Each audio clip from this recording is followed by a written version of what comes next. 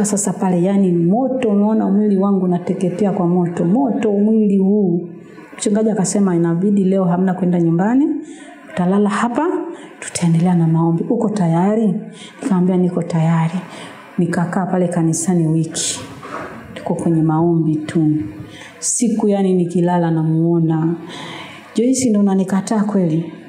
joisi ndo unanikataa kweli? Hiyo ndo kauli. Nitaona wewe na huyu mchungaji wako mtafika wapi.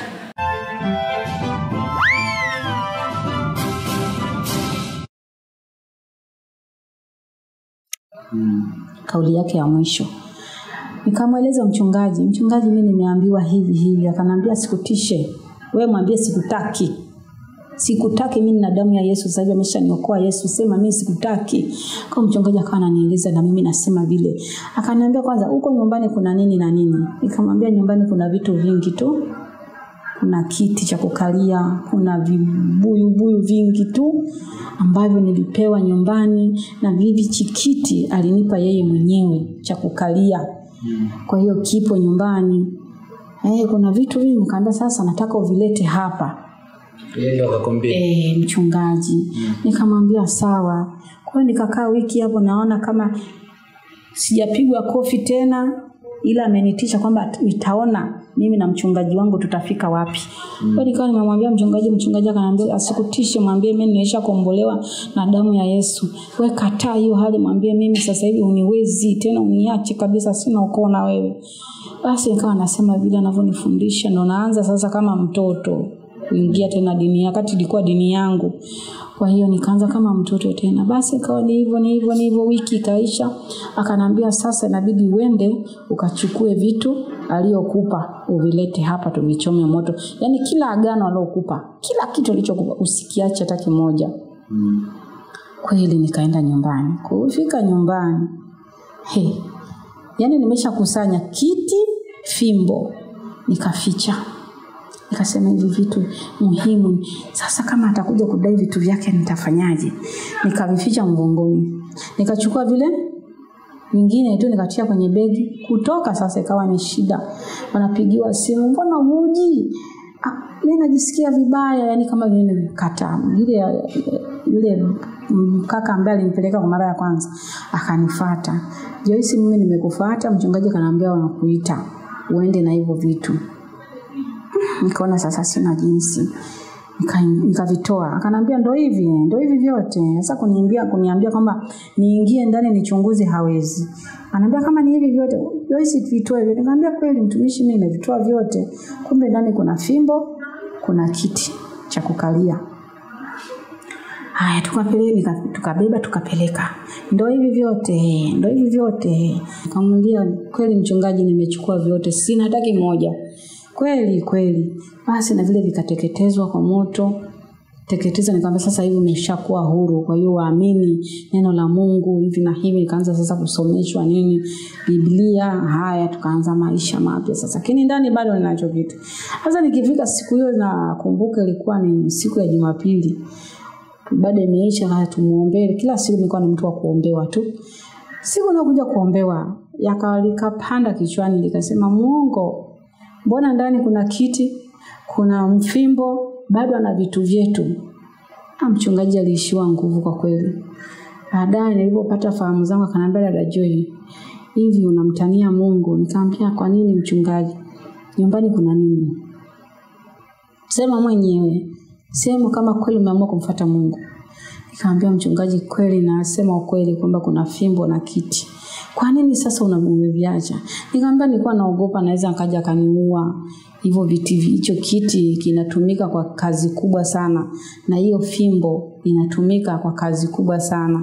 Ambazo ambazo ilikuwa kuna dawa ambayo alinionyesha kuna dawa ambayo nilionyeshwa kwamba yani kama vile mtu amekukera mm. mtu ameku, amekuuzi kwa hiyo una, unaweka dawa kwenye hiyo fimbo alafu unamtaja jina alafu yani unamnuia kitu fulani nataka apigwe nataka afanye hivi apate marazi apate nini unasemea hicho hiyo fimbo na hiyo dawa Kwa hiyo yule mtu huko anafanya nini? Ana, anachapwa na hicho kiti. Ukiwa na unaongea unakikalia hicho kiti na na yeye mwenyewe kama unahitaji kuzungumza naye mambo mam, mam, kuna mambo ambayo unataka kuzungumza naye labda au ya kijini unakaa una, una kwenye hicho kiti unaongea nayo kama unamhitaji kumwita. Sio unamwita tu umesimama tu unatakiwa kunakaa kwenye kiti kama hicho kiti kilikuwa kilikuwa yani kime, amekiteua kwa ajili hiyo kwamba sio na wewe una unamuita kama vile fulani ah, hapana. Unatakiwa ukae kwa heshima kuna nguo ambazo unatakiwa uvae unamwita hiyo ilikuwa hiyo kwa hiyo nilivyokitupeleka ikawa mwenyewe nikaniuliza hichi kinatumika vipi? Nikawa nimeeleza jinsi nilivyokuwa natumia. Kwa hiyo aka, aka vikachomwa moto. Kiti kilikuwa kigumu sana kuchomeka. Yaani kilichukua mwonekano wa kiti ilikuwa ni kiti cha miguu mitatu cha eh, kama katikati. ah, ah, kilikuwa kiko yani fleti Mm. mm. Mhm. lakini mti wake ulikuwa ni sijui ni mti gani kwa hiyo hicho kiti kilikuwa ni kigumu kuchomeka kigumu sana kwa hiyo yani kilichochewa kuni kwa kuni mpaka kikachomeka. kika- kikachomeka karibia masaa matatu watu wanahangaika na kiti pale kanisani kwa hiyo tukaendelea pale na kanisa baada ya kuvitoa vitu vyote nikawa sina chochote tena pale. Kwa hiyo pale kwa kweli na zile ndoto zikaanza sasa vile kunitokea ikaanza kupungua. Lakini ikaibuka kitu kingine nikawa nikilala naitwa yaani inaitwa kwa sauti kubwa kama vile natoka kwenye pori nene inaitwa jina langu. Ikawa sasa napeleka inaombea mchungaji sasa mbona kumeibuka hivi? Yaani ukitibu hili inatokea hili. Ukimaliza hili inatokea hili. Yaani yeye ndo hivyo. Ukimaliza hili anaibua hili. Kwa hiyo nikawa naitwa lakini naitwa na sauti ya mwanamke. Mwana, wanawake wanakuwa wanawake watatu wananiita. Lakini sauti moja ya mwanamke mmoja ndo inakuwa inavuma sana. Yaani iko juu kuliko yani kaita kwa Joyce kwa sauti kubwa kama ile inajirudia kwenye msitu mnene ndio inakuwa hivyo. Kwa hiyo nikawa napeleka mchungaji, mimi mbona imetokea hivi sasa hivi inatokea hivi, mbona sasa hivi inatokea hivi. Kwa hiyo ikawa ni vile. Kwa nikawa mchungaji akaniambia tuendelee hivyo hivyo. Sasa hii kauli ya kuniambia kwamba mtaona utafika wapi na mchungaji wako, siku ambayo nimeshamaliza kama wiki mbili kwenye hilo kanisa la huko Zanzibar, Mm. wiki inaenda kama ya tatu sasa. Mm. siku ambayo mchungaji kanaambia nataka nifike hapo nyumbani nije ni nione unapoishi ili tuombee na hapo unapoishi. Lakini nyumba ilikuwa ni ya mwanamke ambaye mwanamke huyo alikuwa hajaokoka. Kwa hiyo mwanamke alikuwa ni mganga vile vile lakini haishi pale anaishi sehemu nyingine. Nikamwambia sawa ibidi uje uombee na pale napoishi siku ambayo yeye anataka kuja na alikuja mchungaji amini mungu alinikuta nimepigwa. Hmm? nimepigwa kisa yeah, yeah. na jirani. Yaani nilipigwa vibaya sana na jirani. Kisa? Kisa hmm, yani mungu tu anisaidie kwa kweli.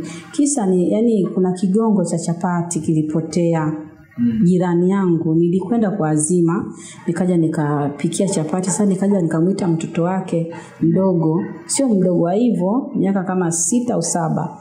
Kaambia mpelekee mama hichi kigongo. Kumbe yule mtoto sijui alienda kukiweka wapi. Au kule kuna mtu mwingine alikuja akaazima pasipo yeye mwenyewe kujua hapo ndo sielewi. Sasa siku alitaka kupika chapati ndo siku ambayo mchungaji wangu anakuja. Akaja kuniomba kigongo. Nipe kile kigongo kaambia kile kigongo mbona nilisharudisha ikawa sababu. We mwanamke yani matusi matusi. Nikamwambia mimi mpendwa nilishakupa hicho kijinini hicho kigongo. Kweli alinivuta yani nguo nilijishtukia niko nje.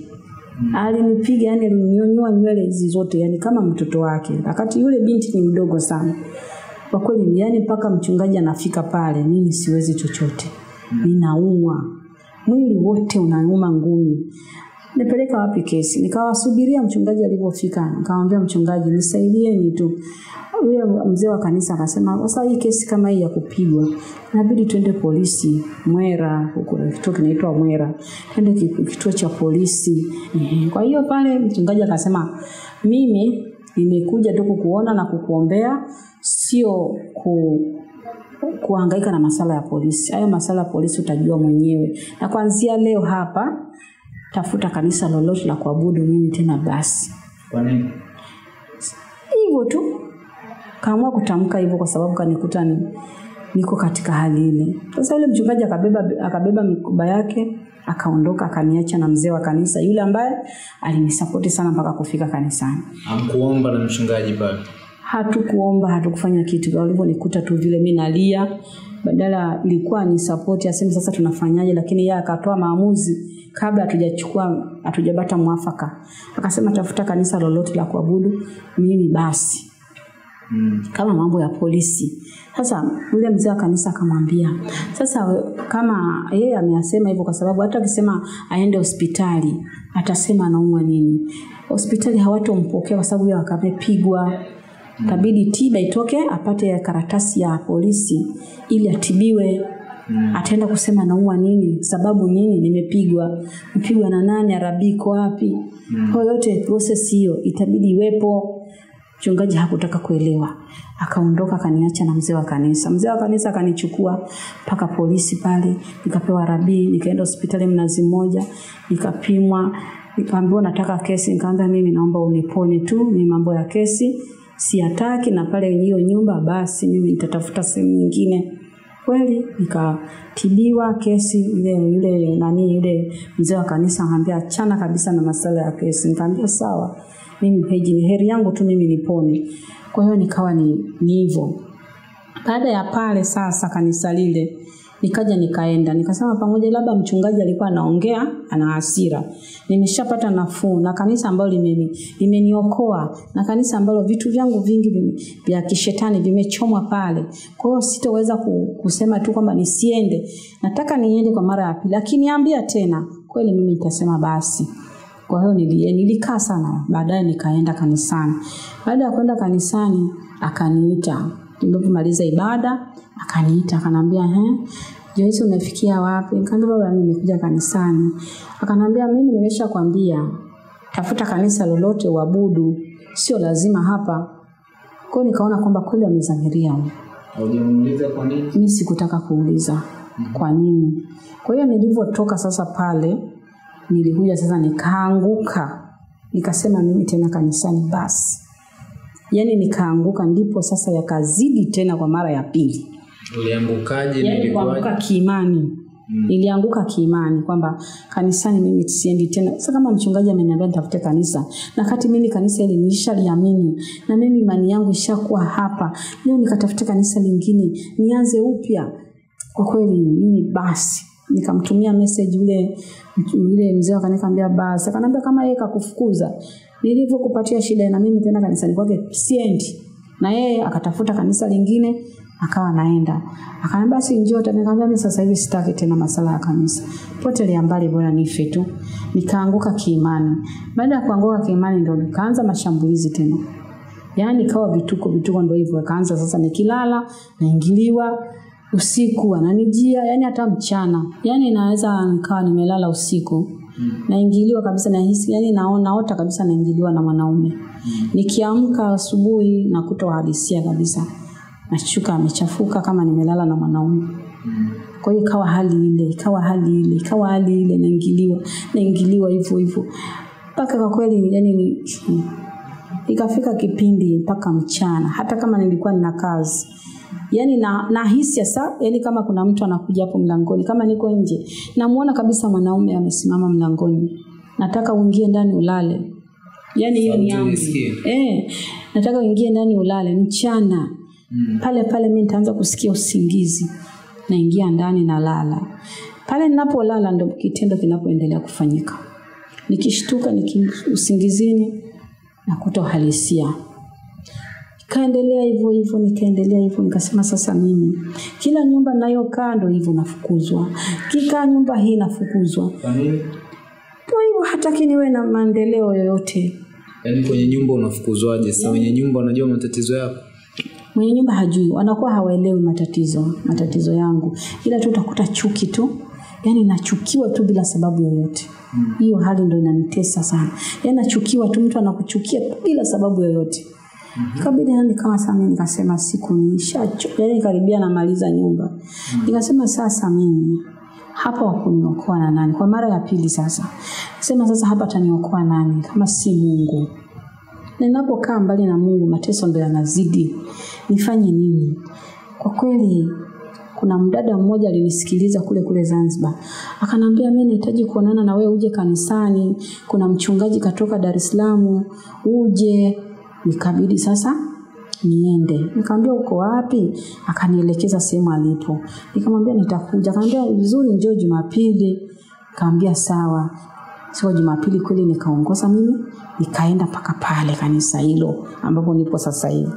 Kufika pale nikaonana kweli na huyo mtu- mtumishi wa mungu ambaye alitoka dar es salaam huku nikamweleza matatizo yangu yote.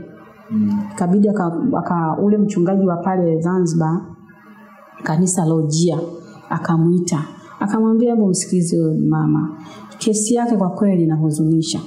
Mimi ningeomba kama mtumishi wa mungu huyu mama muwe naye kanisani kwako. Kwao na yule mchungaji nikawa nimemweleza hali halisi. Akanaambia sasa sasa hivi unaishi wapi? Nikamwambia baba mchungaji kama ndo kanisa lako hili mimi sasa hivi sitaki kukaa nyumba ya mtu yoyote. Naomba unipokee nikae hata kanisani mimi nitakaa lakini kukaa kwenye nyumba za kupanga mimi sitaki tena. Mm. ukinikatalia hapa bora nife. Akanaambia hapana hii kanisa ni nyumba ya mungu. Kama mwenyewe ndo umeamua kabisa kujitoa kwa ajili ya mungu karibu. Kwa hiyo mchungaji akatoa amri akasema hichi chumba cha mashemasi kikatwe maana ni kikubwa kikatwe katikati kuwekwe mbao kuwekwe bati kugawanyishwe huku mashemasi huku mama awe analala ana, atapika mwenyewe kilichokuwepo tutampa lakini haja la moyo wake na kusimama na mungu alivyosema mwenyewe. Basi kweli nikaenda nikachukuliwa vitu vyangu kule nilikokuwa nikapewa waumini wawili nikaenda tukabeba vitu vyangu tukavileta pale kanisani. Nikaanza sasa ku siku ambayo nafika mimi nilikuta maombi ya siku tano kavu bila kuomba bila kula. Mm. kwao na mchungaji akasema na mimi ningeomba haya, ma, haya maombi na wewe ujumuike kwenye haya maombi. Kaambia sawa lakini nilikuwa sijawahi kufunga siku tano wala siku ngapi. Nikasema mimi kwanza ngoja niombe tu nimehudhuria tu kwenye maombi lakini kuomba ba, kuifunga bado nitafunga. Nikahudhuria yale maombi ya siku tano kwa na wenzangu walikuwa sio wengi. Wana maombi kama saba au kumi walikuwa wamefika. Sasa tukiwa kwenye maombi pale ilikuwa ni usiku wan- tuna- wanalala pale pale kanisani na mimi nalala mle mle. Mm-hmm. lakini kula nini naenda nilikabidhiwa mzee wa kanisa. Mzee wa kanisa ndo nilifikia kwake. Lakini kulala nalala kanisani. Kula na kula kwa mzee wa kanisa. Basi kabidi sasa pale tukiwa kwenye maombi usiku alisimama mzee wa kanisa mwingine mm. sio yule ambaye nimefikia. Akasema dada joy haya maombi wewe hayakuhusu. Mm. wewe jiombee wewe mwenyewe kama wewe. La unataka kutengeneza madhabahu nyingine? Tengeneza. Kibiki. lakini haya maombi wewe hayakuhusu. Sikusema neno lolote nika ni- yaani nguvu ziliniisha. Kwa nini na ananiambia hivyo? Na ni mtumishi wa mungu. Kwa nini aniambia hivi?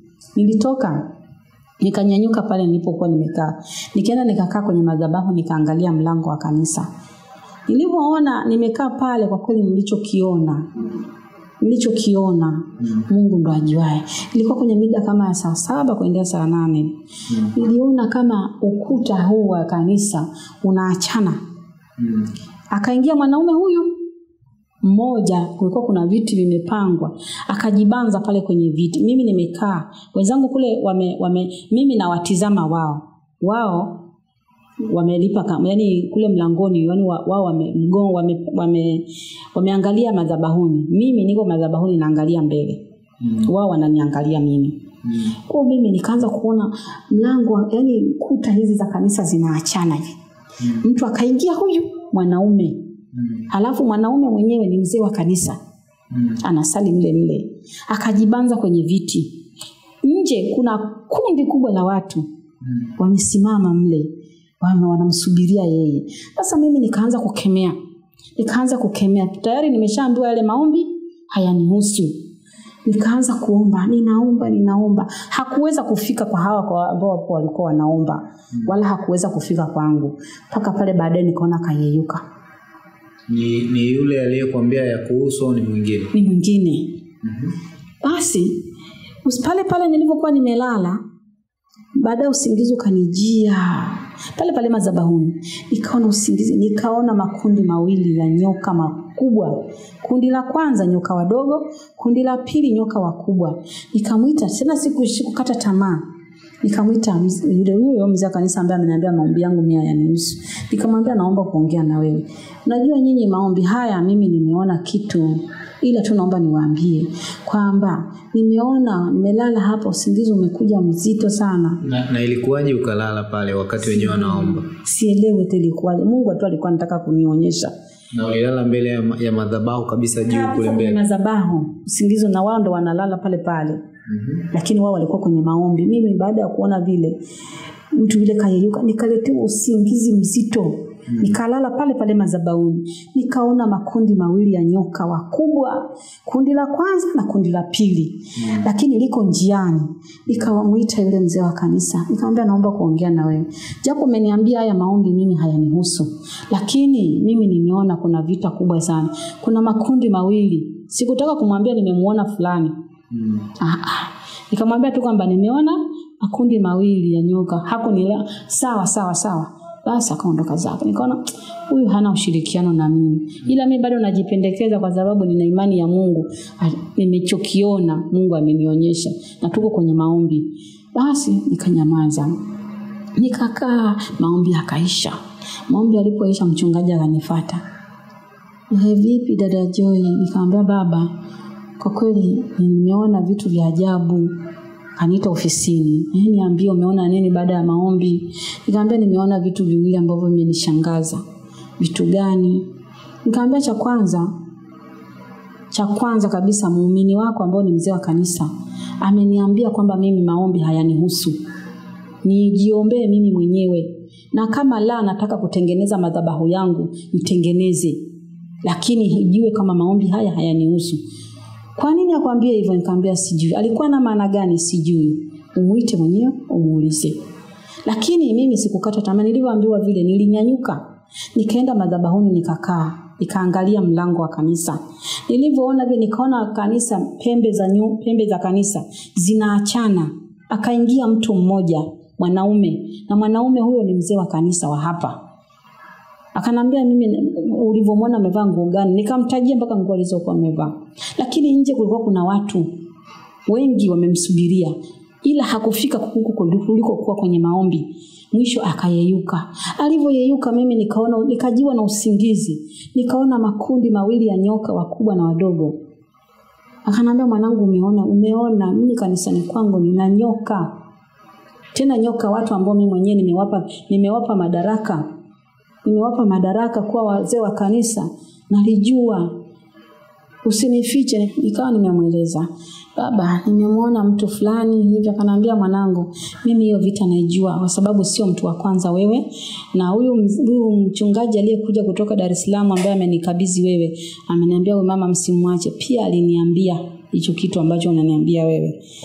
Kwamba ameona ameona kanisani kwangu kuna mtu huyu na huyu na akanitajia na wewe leo nakuja na kesi hiyo hiyo na watu wengi washaniambia Mm. kwa hiyo mwanangu zidisha tu maombi Mm. naona kumbe wewe ulienda kulala juu ya madhabahu wakati huo mm. baada ya kuambiwa maombi hayakuhusu haya kwa hiyo uliacha maombi nikaenda nikakaa nika- nika- kwenye madhabahu nikaangalia mlango wa kanisa mm. ikiwa naomba ndo nikaanza kuona hayo nikaanza kumwona huyo mtu mm. ghafla usingizi ukanijia nikalala pale pale ndipo nikaona hayo majoka.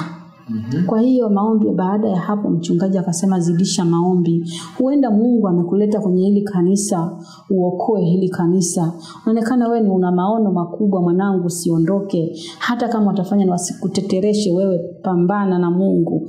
Kwa kweli mchungaji alikuwa ananipa moyo moyo nikajisikia amani kwamba niko nimepata baba wa kiroho. Sasa baada ya hapo ndo nimefikia kwa mzee wa kanisa huku nyumbani kwake. Nikawa nikienda kule alianza kunionyesha ule mzee wa kanisa akaanza kunionyesha chuki. Vitu yule ambaye ndo eh, ulimwona kwenye ukuta au huyo aliyekwambia maombi ya kwenye ukuta. Kwenye ukuta ambao nimefikia kwake. Mm. nikaanza kuona vitu ambavyo sio vizuri kwake na mke wake vile vile. Kama kama yani naenda chooni nikienda chooni nakuta dawa nyeusi imemwagwa mm. hawa ni watu wameokoka. Hii dawa nyeusi inatoka wapi? Mm. nikaenda nikamwambia mchungaji mchungaji kuanzia leo kule uliko nifikishia sipataki. Mm. mimi nitabaki hapa. Kama kupika nitajipikia mwenyewe. Na kama choo nitaenda choo cha kanisa. Sio nyumbani kwa mtumishi wako. Staki kwani kwa, kwa mzee wa kanisa huyu ulikuwa unaenda kulala au kwenda kula tu? Na chooni kama chooni mm. nilikuwa ni karibu sana kuliko huku choo cha kanisa kiko mbali. Kwa hiyo kwa hali yangu kubeba ndoo mpaka kule kanisa choo cha kanisa ni mbali. Kwa hiyo huduma ndogo ndogo nilikuwa nazipata kama kwenda kukoga kwa, kwa hapa kwa mzee wa kanisa ambapo nilikuwa nimefikia. Kwa hiyo baada ya kuona vitu kama hivyo nikamwambia mchungaji mimi tena sitaki kabisa kwenda kwa huyu mtu kwa sababu naona anataka kunirudisha nyuma nilikotoka. Mm. anivunje imani yangu staki nitajitegemea mwenyewe na choo nitataka nitaenda mwenyewe cha kanisa japo kipo mbali nitaenda. Akasema kama umeamua hivyo sawa nikakata sasa. Sijamwambia chochote. Kabidi sasa yeye atengeneze mada akamfata mchungaji. Mchungaji kwa nini huyu mama sasa hivi huku nyumbani kwangu hataki kula hataki kukoga amekataa sasa hivi anashinda kanisani wala haji nyumbani kwangu? Kwa nini? Mchungaji akamwambia huyu ni mama ni mtu mzima na huyu mama amepita mambo makubwa sana. Hebu tumuache anavyotaka yeye afanye kwa sababu sio mtoto mdogo. Ikawa chuki sasa ikaanzia hapo. Kwa nini asikatae kuja kwangu ikawa sasa mimi nikawa nikakata kabisa na salamu akawa hanipi. Akanuna. Tukawa naingia kanisani hivyo hivyo. Yeye anafanya mambo yake mimi namuona waambia kabisa. Nawaona kabisa. Tukaanza kupambana sasa. Ananifata usiku ananiambia niondoke. Hapa kanisani niondoke. Ananifata kabisa kiusingizini. Ondoka tunapigana. Nikawaita wana, maombi wenzangu. Kuna mdada ambaye uh, ni mwana maombi amesimama sana kiimani. Yule mdada akafukuzwa na yeye mwenyewe huyu mzee wa kanisa. Hataki mtu asimame kwenye maombi. Mdada watu akafukuzwa akaambiwa anapewa masaa ishirini na nne zanzibar asionekane. Akapewa masaa ishirini na nne zanzibar asionekane wala kanisani hapo asije. Sijui nisemeje. Mimi nikasema nikamwambia mungu huyu dada sitaki aondoka nikampigia simu. Nikamtaja kwa jina ni mhifadhi tu. Mama fulani naomba usiondoke akanambia nitafanyeje? Mi sasa hivi sitaki kanisa sitaki chochote. Nikamwambia naomba uniamini mimi naomba usiondoke. Sasa wewe umekuja juzi mpendwa utaweza kufanya mimi nirudi kanisani? Nikamwambia utarudi. Nikampigia mzee wa nani mchungaji baba hivi unajua kama kama fulani anaondoshwa kanisani na wewe umerizia baba? Naomba fulani asiondoke naomba baba aje akuombe msamaha kama kuna jambo limetokea arudi kanisani. Mchungaji akasema mwambie aje. Nikamwambia sasa hivi nikampigia simu. Nenda kwa baba anakuita. Akaenda. Kwenda wakaongea na baba baba akamwambia utarudi lakini mwanangu ma- mambo mengine ya kanisani kule wewe usihudhurie wala usi, usiwe kule mbele usikae wewe kaa nyuma. Mpaka mwenyewe nitakapo haya mambo yatakapokuwa tunaendelea na maombi nitakuruhusu kazi za kanisa. Sasa ni mtu alikuwa anajitoa kila kitu. Anayemwambia anayemwambia hivyo ni, ni mchungaji. Mchungaji. Na aliyemwambia aondoke ni nani? Ni mzee wa kanisa kwa hiyo kauli ya mzee kauli ya mchungaji ikawa ina nguvu. Mm. akabidi sasa akasema akaja akaniambia dada dada Joy nakushukuru. Ninakushukuru sana. Yaani kanisa zima walikuwa wanasema tutaona kama ameshafukuza aondoke nimepewa masaa ishirini na nne na leo umenirudisha kanisani. Nashukuru Mungu. Sasa mzee wa kanisa alivyojua sasa kama mimi ndo nimefanya hivyo ili wabaki tukawa sasa nikamwambia unajua kitu gani kifate hapa? Hapa kifate maombi tushinde kanisani tuwe tunaomba tena tufunge. Tukawa sasa watu kama wanne. Tukawagana kundi letu tukawa tunaomba sasa. Yani vita ndo vikawa kubwa. Vita ikawa kubwa. Alivyoachwa yule nikaanza kuandamwa mimi. Kwa nini nimefanya hivyo mpaka yule mdada akarudi kanisani? Mm. akanifuata akanambia nataka uondoke hapa kanisani hatukutaki kaambia sababu ya kutonitaka nini usingizini. Mm. kama huwezi kuondoka na vichoma vitu vyako moto akakusanya vitu vyangu iko singizini ni yani vyombo nguo kila kitu. Mm. akavichoma moto. Nikamwambia niko singizini nikamwambia nikamtaja kwa jina fulani yani wewe unavichoma vitu vyangu moto. Unajua hichi unachokifanya kesho utajutia kwa mungu. Akanijibu tangu nianze kazi hii sijawahi kujutia Mm. nikashtuka. Nilivyoshtuka kwa kweli nili- nilikuwa na mawazo siku hiyo. Nikamtafuta mchungaji. Mchungaji nimeona moja mbili tatu. Akaambia mwanangu vita ya shetani ni maombi. Fimbo ya shetani ni maombi.